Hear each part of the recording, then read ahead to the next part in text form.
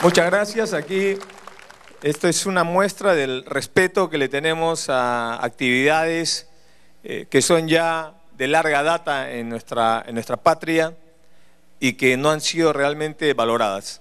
Quiero agradecer al congresista Jaime Delgado, al, presidente del Congreso, Freddy Otárola, y a los congresistas que han apoyado esta iniciativa del Ejecutivo para eh, darles la formalidad que requiere una actividad de larga data a nivel nacional.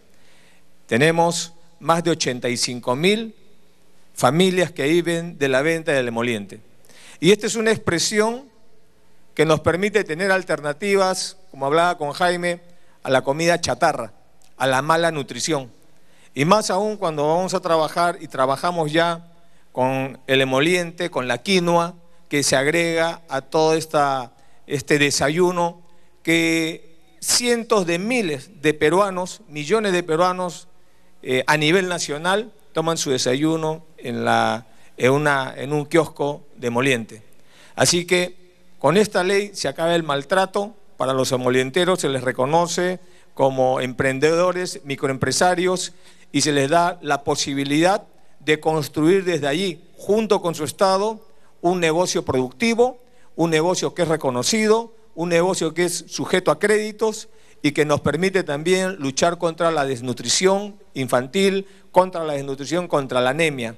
Así que muchas gracias a todos ustedes por haber trabajado tantos años, generaciones que han trabajado en el desayuno, en el moliente, levantándose a las 2 de la mañana, ubicándose en los sitios donde la gente va a trabajar, en los paraderos, muchas veces sufriendo eh, no solamente la indiferencia del Estado, el maltrato que se le ha venido dando, el tratamiento como si fueran eh, vendedores piratas, ¿no?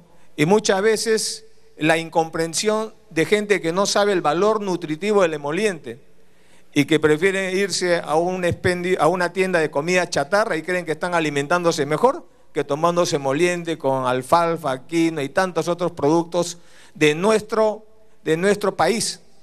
Y que el emoliente hoy día está saliendo fuera del país y se está eh, imitando en, otras, en otros países de la región por su alto valor nutricional.